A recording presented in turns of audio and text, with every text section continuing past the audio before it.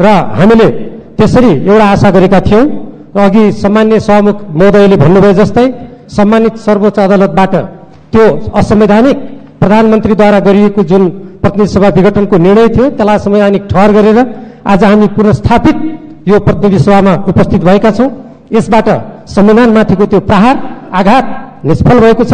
तर सँगसँगै नेपालको राजनीतिक क्षितिजमा अनेक अरू प्रकारका समस्याहरू पनि सँगसँगै आएको हामी देखिरहेका छौँ। जे होस् सामान्य सभामुख महोदय यो जुन कार्यसूची छ म सर्वप्रथम त्यसको केही प्रसङ्गबाट प्रवेश गर्न चाहन्छु।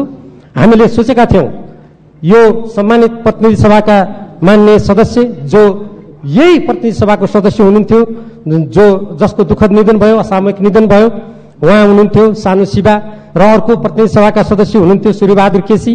र त्यसै गरी पूर्व सदस्यहरू मैले हामी सबैको हातमा कार्यसूची छ। मैले दोहोऱ्याइरहनु त पर्दैन तर यो कुरामा जोड दिनुको लागि भन्नै पर्छ। यसमा दिपक बहादुर गुरुङ मान्य पूर्व सदस्य डाक्टर राममान श्रेष्ठ संविधान सभाका सदस्य मानपुर चौधरी पूर्व सदस्य वीरबहादुर लामा पूर्व सदस्य ओमकार प्रसाद गौचन पूर्व सदस्य इन्द्रहाङ लिम्बू संविधान सभा सदस्य भीमप्रसाद गौतम पूर्व सदस्य कमान सिंह लामा पूर्व सदस्य गंगादत्त जोशी पूर्व सदस्य एकनाथ राणा भाट पूर्व सदस्य कुवर प्रसाद शर्मा र पूर्व सदस्य डाक्टर शङ्कर प्रसाद उप्रेती। यी जना जसले यो संविधान निर्माणमा लोकतन्त्र प्राप्तिको सङ्घर्षमा आफ्नो जीवनको आहुति दिनुभयो उहाँहरू प्रति श्रद्धाञ्जली अर्पण गरिरहँदा अरू कुनै पनि कार्यसूची रहने छैनन् भन्ने हामीले अपेक्षा गरेका थियौँ। हामी सर्वप्रथम म स्वयं प्रतित्व गर प्रतित्व गर्ने नेपाल कम्युनिस्ट पार्टी नेकपाको तर्फबाट उहाँहरूप्रति हार्दिक श्रद्धाञ्जली अर्पण गर्न चाहन्छु। तर सम्मान्य सभामुख महोदय यो अरू कार्यसूची कहाँबाट आए? एक त यो लोकतन्त्रमा अध्यादेशबाट शासन गर्ने परम्परा कति उचित हो? कति त्यो त्यो त्यो रूपको त्यो प्रकारका काम कारवाहीलाई हामी लोकतन्त्रमा विश्वास गर्ने हाम्रो यो प्रतिनिधि सभाले स्वीकार गर्छ भन्ने प्रश्न उठ्छ एकातर्फ। अर्कोतर्फ यी यसरी अध्यादेशबाट शासन सञ्चालन गर्ने संविधानलाई मिच्ने संविधानको धारा छिहत्तर र पचासीको अपव्याख्या गरेर यो प्रतिनिधि सभाको मृत्यु यो प्रतिनिधि सभामाथि प्रहार गर्ने र यस्तो जुन कुरा आएको छ यसप्रति हाम्रो गम्भीर आपत्ति छ। त्यसको साथसाथै म के कुराको स्मरण गराउन चाहन्छु भने यो प्रतिनिधि सभामा जुन सरकार भनेर सभामुख महोदयले मान्य सदस्य इलेक्सनको कुरा गर्नुभयो। मान्य सदस्य तपाईँ रोकिन सक्छन् के को नियमापत्ति तपाईँको? कुन नियमको के नियमापत्ति नियम छब्बिस अनुसार मैले नियमापत्ति गरेँ। चौध र नियमावलीको त्रियानब्बेलाई कोड गरेर म भन्न चाहन्छु पहिलो बैठकको पहिलो सूचीमा अध्यादेशहरू पेश हुनुपर्ने भन्ने छ। त्यो बाहेकको अन्यथा कुरा हुनु गएको हुनाले यसलाई सच्याइयोस् भनेर म माग गर्न चाहन्छु। होइन मेरो ध्यान आकर्षण भयो तपाईँ बस्नु सामान्य सभामुख महोदय म अर्को गम्भीर कुरातर्फ ध्यान आकर्षण गराउन चाहन्छु। आज मात्रै है छोट्याउनुहोस् त। होइन यो सामान्य सभामुख महोदय यति गम्भीर प्रश्न हाम्रो सामु छ। गम्भीर प्रश्नलाई पनि संक्षिप्तमा भन्नुहोस् न। यहाँ सम्मान्य सभामुख महोदय जुन कुर्सीबाट मलाई आदेश दिँदै हुनुहुन्छ यो यसमा एउटा ध्यान आकर्षण गराउनु पर्ने विषय छ। त्यो के हो भने आज मात्रै सर्वोच्च अदालतबाट एउटा यस्तो फैसला आएको छ जुन फैसलाले यो सरकारले यसरी अध्यादेश ल्याउन पाउँछ कि पाउँदैन। यो कसको सरकार हो भन्ने प्रश्न यहाँ उठेको छ। यो यो सूचना यो जानकारी सामान्य सभामुख महोदयलाई छ कि छैन? हुनुपर्छ। त्यसकारण म के भन्दैछु भने जुन कुराको वैधता छैन जुन कुरा राजनीतिक दृष्टिकोणबाट नैतिक दृष्टिकोणबाट संवैधानिक दृष्टिकोणबाट कानुनी दृष्टिकोणबाट र हाम्रो यो सम्मानित प्रतिनिधि सभाको परम्परा र अभ्यासबाट जुन कुरा यहाँ स्थापित हुँदैन जुन कुराको अभ्यास गरिँदैन त्यो कुराको अभ्यास नगरियोस् भनेर सभामुख सम्मान्य सभामुख महोदयलाई आकर्षित गराउँदा के त्यसमा समयको बन्दी लाग्न सक्छ र लाग्दैन सभामुख महोदय।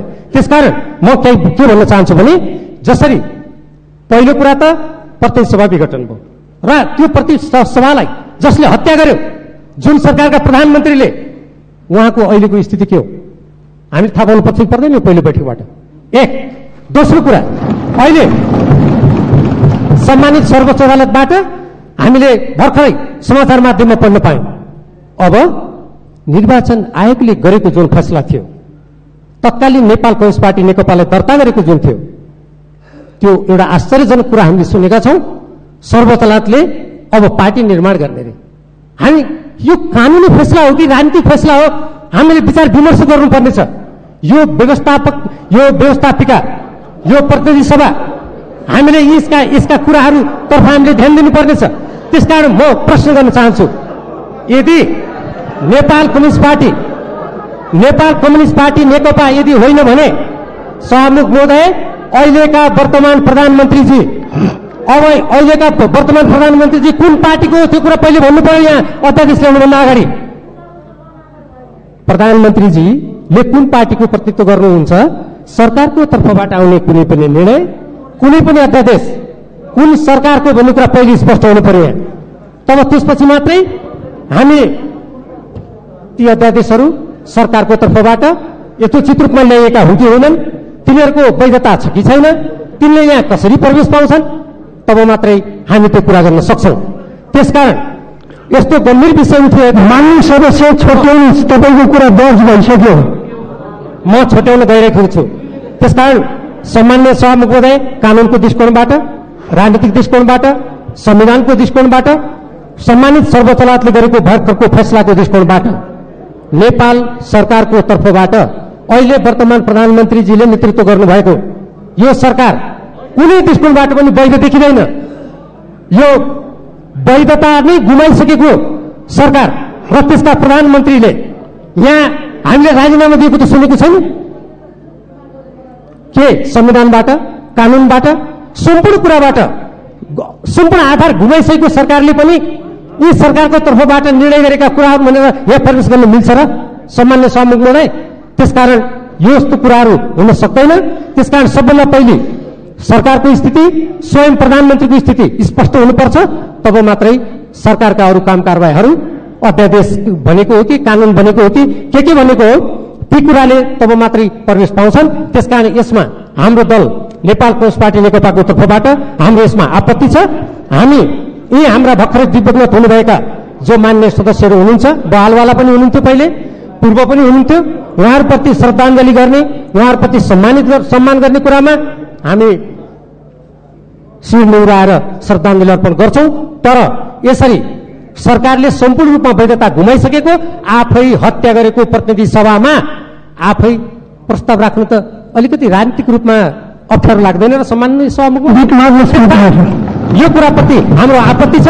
यदि सामान्य सभामुखजीले यो कुरालाई परिवर्तन गर्नुहुन्न कार्यसूची हाम्रो माग अनुसार भने यसमा हाम्रो विमति रहन्छ। हामी यो कुरालाई मान्न सक्दैनौँ। हामी अस्वीकार गर्छौँ र जबरजस्ती यदि सामान्य सभामुख महोदय यो कार्यसूचीमा प्रवेश गर्नुहुन्छ भने हामी त्यति बेला हामीले ती सम्पूर्ण प्रक्रियालाई बहिष्कार गर्नुपर्ने हुन्छ। धन्यवाद।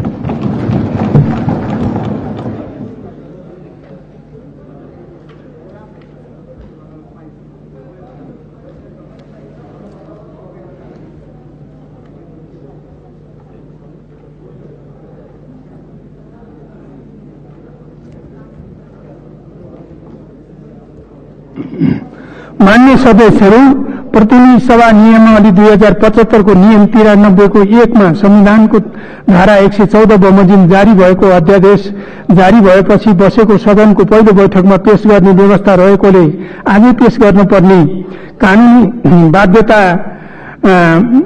बाध्यतामा सदस्य मान्य सदस्यहरू यस कार्यसूचीमा अरू कुनै कार्यसूची छैन। राष्ट्रपति कार्यालयको पत्रको जानकारी बाहेक बस्नुहोस्। म तथ्यलाई अगाडि बढाउँछु।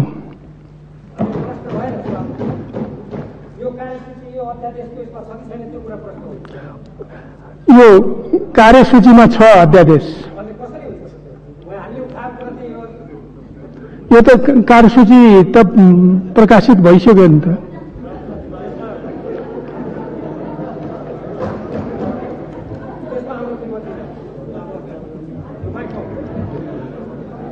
तपाईँको विनोती पनि दर्ज भयो म बैठक पनि अगाडि बढाउँछु।